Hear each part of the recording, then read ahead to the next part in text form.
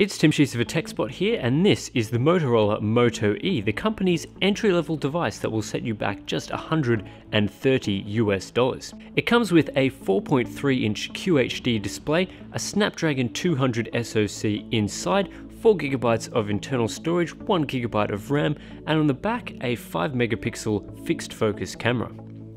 The Moto E is a fairly unassuming device, it falls well within what we normally see on entry-level smartphones, although with a bit more polish than we're used to. It's not exactly the slimmest device, coming in at over 10mm thick, but it is quite curved as you can see around the edges here. The device fits quite comfortably in the palm of your hand for general usage, and the power button, which is found on the top right-hand edge, is quite easy to press and is in generally the perfect position for using this device. Also helping out the ergonomics of the Moto E, apart from the generally curved back panel, is this small dimple with the Motorola logo in it. I was told by a Motorola executive that this dimple is designed for your index finger to be placed during general usage to stop the device from slipping around. And generally speaking, it does a fairly good job of keeping the device firmly positioned in your hands during usage. The removable back panel also makes use of soft touch plastic, which feels very nice in your hands.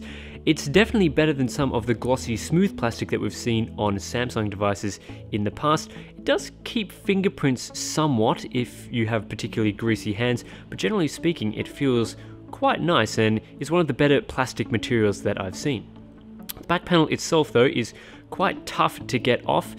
It requires quite a bit of force as you can see here to open up that back panel, but when you do take the back panel off, you'll notice here that there is no removable battery. The internal just under 2000 mAh battery is sealed within the device, although you can see here that the battery actually pops out on either side. Unfortunately though, you still can't remove it. On the right hand side here, you'll notice there are three ports, which is the main reason why you can remove this back panel. There are two SIM card slots, this being a dual SIM device, as well as the micro SD card slot for expanding on the fairly limited 4GB of internal storage. If you plan on using this device for storing photos and music, I'd highly recommend chucking in a cheap SD card from Amazon into that slot because 4GB can be filled up quite quickly by apps. As you can see on the front of the device, there are two metal strips above and below the display. The top one is the in-call speaker, next to which you can find the sensor array, and there's also a notification LED along there. And at the bottom is the main speaker that is used for playing music and ringtones. Unfortunately, unlike HTC devices where you'll see both speakers being used simultaneously, only the bottom speaker is ever used if you're trying to play back music and the top speaker of course for in-calls so there is no dual speaker effect, no stereo sound coming out of this particular device unfortunately. The QHD display on the Moto E is actually fairly good even though it doesn't pack the latest hardware. We're talking about a resolution of 960 by 540 which is a little bit better than the HVGA and WVGA that we're usually used to on devices that are sub $150.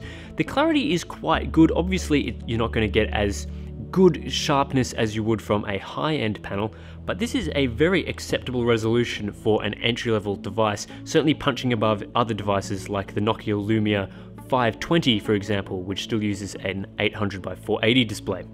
In terms of the color quality of the display, we're looking at what is likely a cheap-ish IPS display. The viewing angles, as you can see there, aren't terrible, which indicates to me that it's not a TN panel, but the colors are actually quite good in what it can display at full brightness, as you can see here. It's quite a vibrant little display for 4.3 inches and on an entry-level device, so I think a lot of people will be very happy with what Motorola has produced here.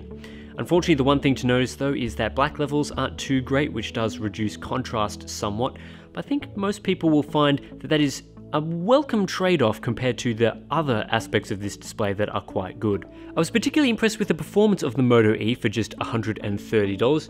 Inside you'll find a Qualcomm Snapdragon 200 SoC, which isn't exactly the highest end chip, in fact it is the lowest end chip manufactured by Qualcomm, and it comes with, as you can see here, a 1.2 gigahertz ARM Cortex A7 dual-core CPU and the Adreno 302 GPU. Unfortunately, CPU-Z is a little bit wrong there.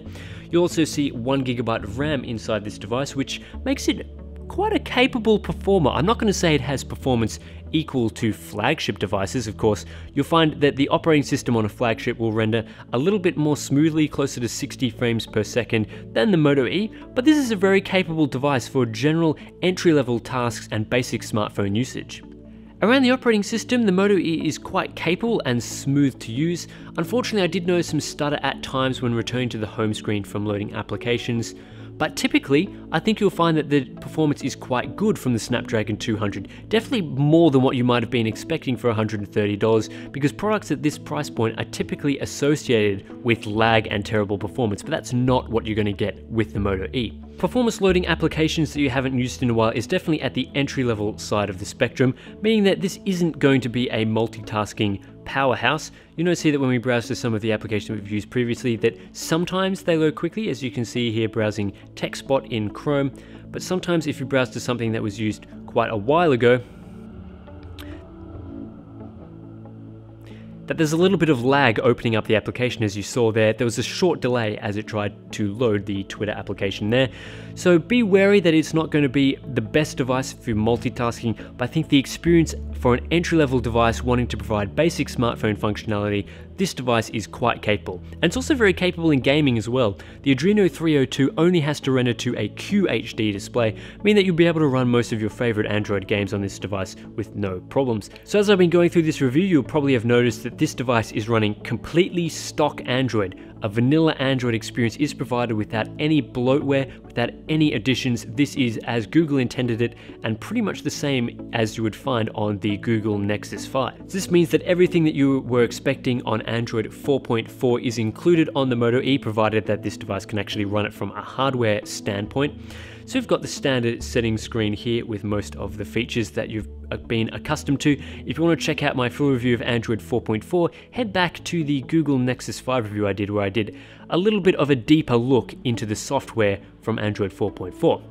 That said, there are two main additions that I want to cover on the Moto E. These are included as standalone applications included out of the box so you don't have to download these and of course this is exclusive to Motorola devices. The first app is Assist and if you're familiar with the Moto G you would have seen this application already. It's also very similar to Smart Actions that was included on some previous Motorola devices. In this application you can set certain triggers which allow the smartphone to automatically control certain things. For example, when you're sleeping, you can set a certain time for your device to be completely silenced so that you're not annoyed with notifications during the night. Another one, meeting mode, allows you to set your, again, phone to silent mode when you're in a meeting as detected by Google Calendar. Unfortunately, these are the only two things you can do in this version of Assist. Some of the more advanced features are locked to the Moto X and Motorola's other high-end devices. An even better app than Assist included on the Moto E is called Alert, and the basic idea of this app is that you set an emergency contact or contacts that can be contacted instantly through the pressing of the emergency button. What it does when you press the emergency button is it starts notifying your contacts through both text message with your included location, as well as through a phone call, allowing you, in an emergency, you just have to tap one button and a whole ton of information is sent. You can also set that to call emergency services, as well as sending your notification to some of your contacts if you want to do that. Alert has a few other functions because understandably you're not going to be in an emergency situation all the time. Meet Me will send a text message to a contact with your location automatically in it, and Follow Me does pretty much the same thing as Meet Me, except it sends those text messages at a certain interval, allowing someone that you're trying to meet up with know exactly where you are as say you move around a shopping center. The final feature in Alert is going to be particularly handy for parents. In this feature, you can set up certain locations that when you enter and exit these locations, a text message is sent to an emergency contact or a family member just to let you know that you've safely entered or exited these locations. For example, if your kid is going to school, you might want to set up a place for their school so that when they enter school, you know that they've arrived safely at school, and once they leave and they've gotten home, you can set another trigger, it sends a text message to you at work, to know that they've arrived safely. Fantastic feature for certain situations. So the final feature I want to discuss on the Moto E is of course the rear facing camera. It's a 5 megapixel sensor with a 2.4 lens attached. Unfortunately though, it is fixed focus. So while you do get the same sensor as found in the Moto G, it's not particularly useful in a number of circumstances. The easiest way to illustrate the downside of a fixed focus lens is by going into the camera application. Now any item that is around a meter to maybe a meter and a half away from the smartphone will be perfectly in focus because that is where the fixed focus camera is designed to be. However, something 10 centimeters or 20 centimeters away from the lens is always going to be out of focus, meaning that this device is completely useless for macro photography. If you're trying to take a photo of a flower or food, you'll find that the Moto E is simply not capable of taking this shot because it can't focus in close enough. That said, I think it's easy to overlook the issues with the Moto E's camera from a number of standpoints. First of all, this device is just $130, making it fantastic value for money. You get a really solid design that is comfortable and made with decent materials. You get an excellent QHD display for the price point. Of course, we're not talking about any flagship hardware in this device, but the display on this definitely punches above its weight. We've also got the Snapdragon 200 SoC inside, not a performance powerhouse, but it does a decent job at powering the Moto Finally, stock Android 4.4 is always a blessing, and some of Motorola's software inclusions like Assist and Alert are generally quite good. Overall, if you're after an entry-level Android smartphone or just an entry-level device overall, the Moto E is definitely one of the better devices on the market today. And that's it for this review of the Motorola Moto E. If you want to check out any performance benchmarks, battery life figures, and more cool stuff, check out the full written review which you can find on TechSpot also, don't forget to subscribe to this YouTube channel for more video reviews coming in the future. We're also on Twitter, Facebook, and Google Plus for the latest in news and analysis. Thanks, guys. This has been a TechSpot video review.